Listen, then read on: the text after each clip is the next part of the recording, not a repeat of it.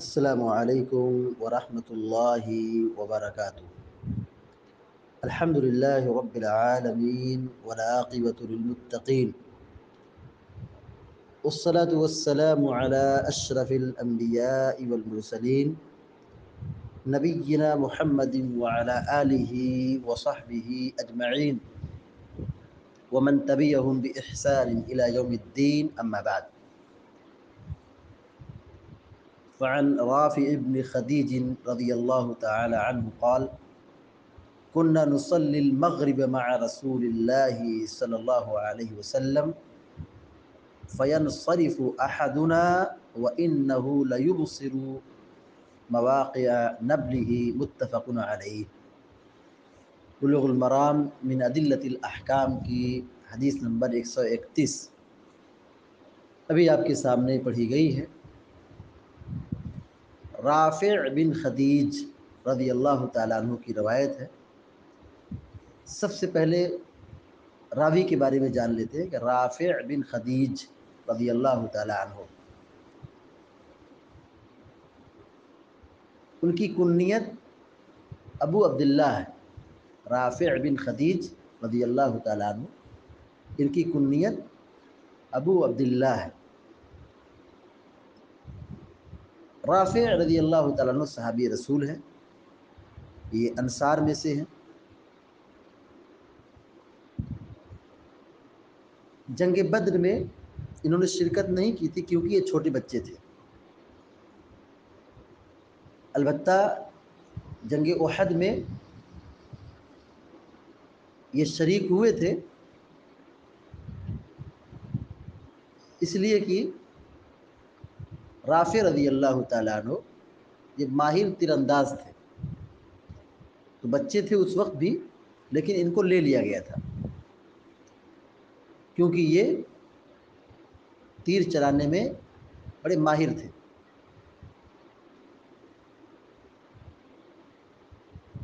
जब इनको ले लिया गया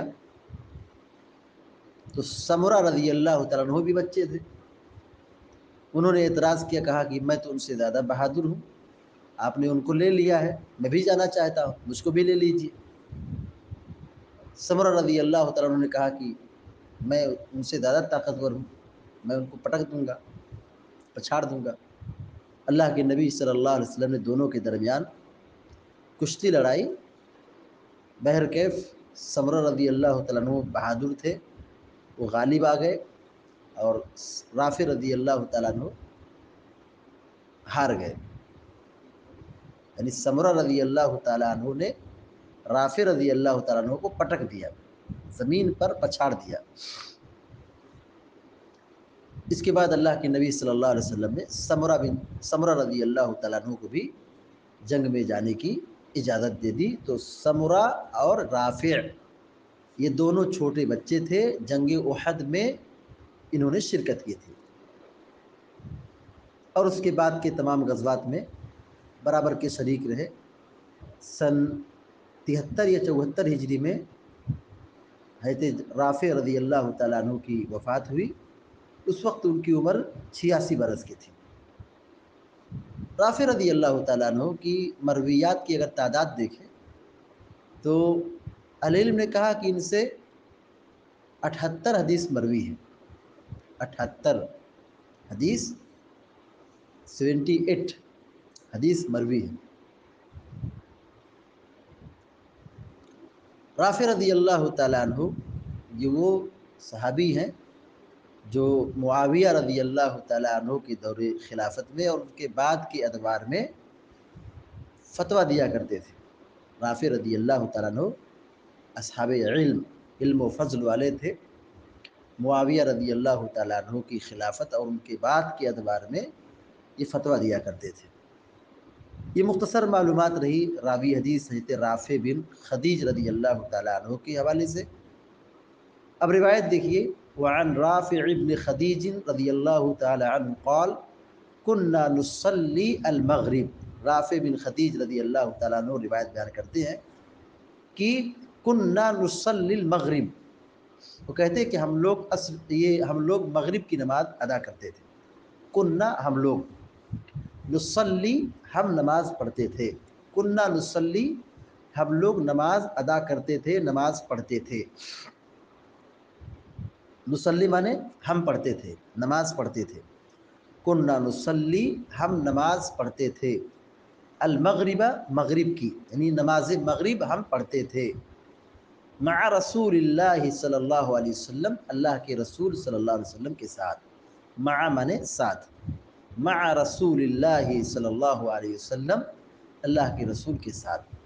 सहाबी रसूल राफ़ बिन खदीज रदी अल्लाह तु बयान करते हैं कि कुन्ना नुसलमगरब मा रसूल सल्लल्लाहु अलैहि वसल्लम, कि हम लोग मगरिब की नमाज़ अल्लाह के रसूल सल्लल्लाहु अलैहि वसल्लम के साथ पढ़ते थे, यानी जमात से पढ़ते थे। साहब इकराम नमाज़ पढ़ते थे, अल्लाह के रसूल के साथ मतलब जमात के साथ। देखिए, जमात के साथ नमाज़ पढ़ना चाहिए। बहुत सारे लोग नमाज़ तो पढ़ते हैं, लेकिन नमाज़ नमाज़ की तरह नहीं पढ़ते। सबसे बड़ी इबादत तोहहीद के इकरार के बाद, ईमान लाने के बाद सबसे बड़ी इबादत, नमाज़ की पाबंदी। अल्लाह के रसूल सल्लल्लाहु अलैहि वसल्लम से सवाल किया गया अयुल अमाल सबसे अफजल अमल कौन सा है? नेकियों में, आमाल में सबसे बड़ा अमल, सबसे अफजल अमल कौन सा है? काल असला तो आला मीक़ाती है आपने कहा नमाज़ को उसके वक्त पे पढ़ना। तो सहाब कराम अल्लाह के रसूल अलैहि वसल्लम के साथ नमाज़ पढ़ते थे मतलब जमात की बड़ी पाबंदी करते थे। तो आज हमारे यहाँ नमाज़ तो पढ़ते हैं, हम तो नमाज़ पढ़ते हैं, लेकिन नमाज़ को नमाज़ की तरह नहीं पढ़ते। लेट से पढ़ लिए जमात छूट गई, एक रकात छूट गई, चार रकात छूट गई। या वक्त चला गया, तब तो नमाज़ पढ़ते। ऐसा नहीं होना चाहिए। नमाज़ को नमाज़ के वक्त पे पढ़ना चाहिए। नमाज़ को नमाज़ की तरह पढ़ना चाहिए। कुन्नसली अलमगरब मा रसूल वसल्लम। हम लोग रसूलुल्लाह सल्लल्लाहु अलैहि वसल्लम के साथ मगरिब की नमाज़ पढ़ते थे। फ़यन शरीफ़ु अहदना। फ़यन शरीफ़ु वापस होना, लौटना। इन शरफ़ा यन शरीफ़ु इंसराफ लौटना, वापस होना। फ़यन शरीफ़ु तो लौटता था, वापस होता था। अहदुना हम में से कोई। फ़यन शरीफ़ अहदुना हम में से कोई शख्स नमाज़ से फारिग होकर लौटता था, वापस आता था। यानी नमाज़ पढ़ लिए, जमात ख़त्म हो गई। तो अब मस्जिद से लोग निकलते थे। तो उसी को कहा, फ़यन शरीफ अहदुना। तो हम में से कोई निकलता था, लौटता था, वापस होता था। व इन नहू लयुबसरु मवाक़ मवाक़ नबली व इन नहू बेशक वो व इन नहू और बेशक वो। लयुब सिरु लयुब सिरु यकीनन देख लेता था। लयुब सिरु देखना लयुब सिरु वो देख लेता था। व इन नहू लयुब सिरु यकीनन वो देख लेता था। मवाक़ मौक़ की जमा है। मौक़ मवाक़ मौक़ वाहिद है मौाक़ जमा है। मौाक़ माने जगह। मवाक़ जगह। नबल माने तीर, नबलुन। नबल माने तीर। मवाक़ नबल ही उसके तीर की जगह, यानी तीर जहाँ गिरती थी, उस जगह को देख लेता था। जैसे आदमी नमाज़ पढ़ के निकला तो एक आदमी तीर चला रहा है। तीर चला रहा है। तो ज़ाहिर सी बात, तीर चलाएगा तो वो तीर कहीं जाके गिरेगी। और आदमी जब तीर चलाता है तो हम समझ सकते हैं कि तीर की रफ्तार कितनी हो सकती है। और आदमी जहाँ से तीर चला रहा है तो कितनी दूर गिर सकता है, हम समझ सकते हैं, बिल्कुल सिंपल बात है। तो मगरिब की नमाज़ पढ़ के जब निकलते थे तो एक आदमी तीर चलाता तो वो तीर के गिरने की जगह को देख लेता था। क्या मतलब है? तीर के गिरने की जगह देख लेता मतलब ये कि मगरिब की नमाज़ पढ़ के निकलते थे तो काफ़ी उजाला रहता था। काफ़ी उजाला रहता था कि तीर गिर रही है और आदमी गिरने की जगह देख लेता था। उजा, उजाला होगा तभी देखेंगे। अगर अंधेरा हो जाए और आदमी अंधेरे में तीर चलाए तो क्या मालूम कहाँ गिरी? तीर कहाँ पहुँची, कहाँ गिरी, कुछ भी दिखाई नहीं देगा। लेकिन जब सहाबा कराम रसूलुल्लाह सल्लल्लाहु अलैहि वसल्लम के साथ नमाज़ पढ़ के, मगरिब की नमाज़ पढ़ के वापस आते थे, घर लौटते थे, निकलते थे मस्जिद से तो एक आदमी तीर चलाता तो देख लेते थे तीर कहाँ पे गिरी है। ये मकसद है, मफहूम बतलाना ये है कि सहाब कराम या अल्लाह के रसूल सल्लल्लाहु अलैहि वसल्लम मगरिब की नमाज़ जल्द पढ़ते थे। मगरिब की नमाज़ जल्द पढ़ते थे कि मगरिब से फरागत के बाद जब लौटते थे, घरों को जाते थे तो उजाला रहता था, अंधेरा नहीं रहता था, उजाला रहता था। व इन नहू लयुब सिरु मवाक़ी तो बेशक वो तीर के गिरने की जगह को देख लेता था। यानी तीर जहाँ गिर रही है, वो जगह आदमी को नज़र आती थी, दिखाई देती थी। ये कब होगा? जब उजाला होगा। मुतफ़न आलई बुखारी मुस्लिम की रवायत है। हदीस का तर्जमा फिर देखिए। वान राफ़ इबन खदीज रदी अल्लाह तक़ाल हज़रत राफ़ बिन खदीज रदी अल्लाह तवायत बयान करते हैं कि कुन्ना मगरब मा रसूल कि हम मगरब की नमाज़ अल्लाह के रसूल अलैहि वसल्लम के साथ पढ़ते थे। फ़यन हो अहदुना तो हम में से एक शख्स वापस होता, लौटता। व इन नयुब सिर मवाक़ नबल ही तो वो तीर के गिरने की जगह को देख लेता था। तो वो तीर की जगह की तीर के गिरने की जगह को अच्छी तरह देख लेता था। मुतफ़न बुखारी मुस्लिम की रवायत है। इस रवायत से जो बातें मालूम हुई, नंबर एक, नमाज़ की पाबंदी करना चाहिए। नमाज़ की पाबंदी करना चाहिए। नंबर दो, बा जमात नमाज़ पढ़ना चाहिए। बा जमात नमाज़ पढ़ना चाहिए। तीसरी बात ये मालूम हुई कि मगरिब की नमाज़ जल्द पढ़ना चाहिए। यानी मगरिब की नमाज़ ताखिर नहीं करना चाहिए। अब जल्द पढ़ने का मतलब क्या है? जल्द पढ़ने का मतलब ये है कि आदमी देख रहा है कि सूरज डूब रहा है, सूरज डूब जाए तो मगरिब का वक्त हो गया है फ़ौर अदान देना चाहिए और अदान के बाद थोड़ा सा वक्फ़ा रखना चाहिए। मगरिब की अजान और जमात में थोड़ा सा बीच में गैप रखना चाहिए ताकि आदमी दो रकात जिसको पढ़ना है वो पढ़ ले।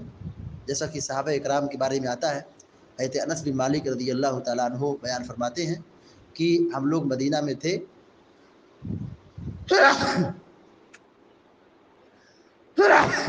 अल्हम्दुलिल्लाह।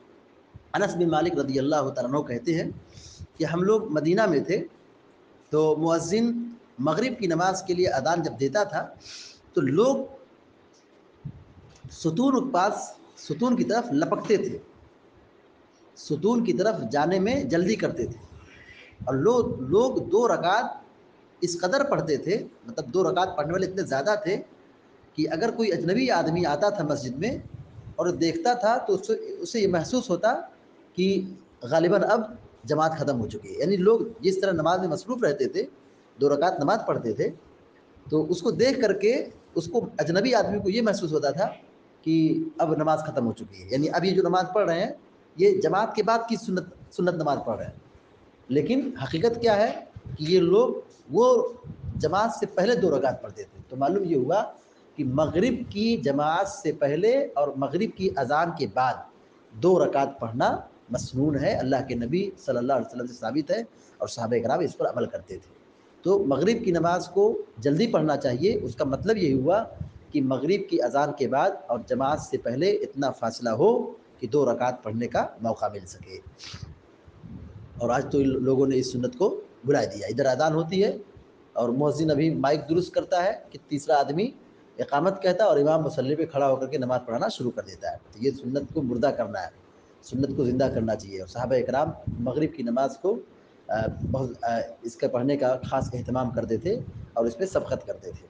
तो चौथी बात ये मालूम हुई, मगरब की नमाज़ ज़्यादा लंबी नहीं पढ़ाना चाहिए। चौथी बात ये मालूम हुई, मगरब की नमाज़ मुख्तसर पढ़ना चाहिए, बहुत लंबी नहीं पढ़ाना चाहिए।